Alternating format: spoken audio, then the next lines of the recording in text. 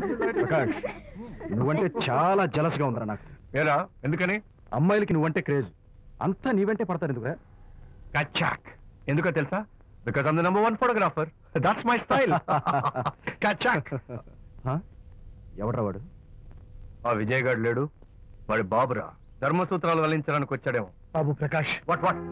నీ కొడుకు నా కాలర్ పట్టుకున్నాడు నువ్వు కాళ్ళు పట్టుకోవడానికి వచ్చావా? అనిత కాపురం చక్క పట్టానికి నీ కాళ్ళు పట్టుకోమన్నా పట్టుకుంటాను. అనిత చిన్నప్పటి నుంచి నాకు తెలుసు. చాలా మంచి పిల్ల బాబు. ఎరా?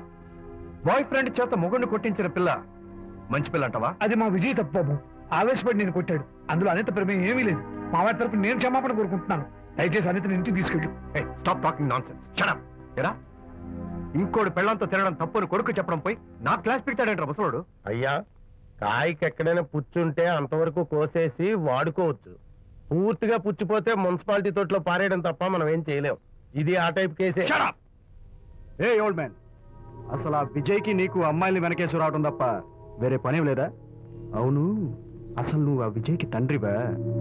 అమ్మాయిల్ని తచ్చే బ్రోకర్వా? అవునమ్మాయి, అసలు ఇలాంటి వెధవ ఫ్రెండ్ అవటం వల్లే ప్రకాష్ చెడిపోయాడు రా ఏం కూసావురా నన్ను? ముసలి నక్క! మా నాన్న మీద చేయి చేసుకుంటావురా? నేను ఇక్కడ నరికి పోగులు కొడతావా? ఫ్రెండా ఫ్రెండ్? కు స్పెల్లింగ్ తెలియని నీకు ఈ లఫంగా ఫ్రెండ్. నీకు అంత డెకరేషన్ లేదు. నువ్వేదో మనిషి అనుకుని నీతో మాట్లాడడానికి వచ్చారు మా నాన్నగారు. నువ్వు బురదలో దొల్లే జంతువు అని నీ దగ్గరకు వస్తే తన మీద బురద పడుతుందని ఇప్పుడే తెలిసి వచ్చింది ఆయనకి. షేమాన్యు రండనా